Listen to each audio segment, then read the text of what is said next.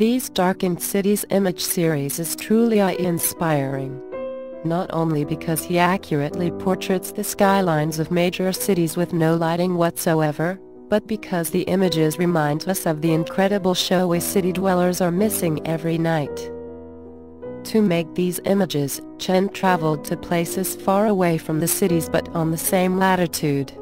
While Los Angeles, San Francisco or Rio de Janeiro are buzzing with gigawatts of electricity, locations like Joshua Tree National Park, the Mojave Desert, and the Amazon are completely dark.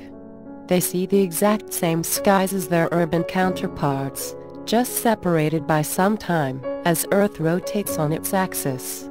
Cohen photographs and combined these skies with images of the cities, treated so they looked as though they were illuminated only by the stars.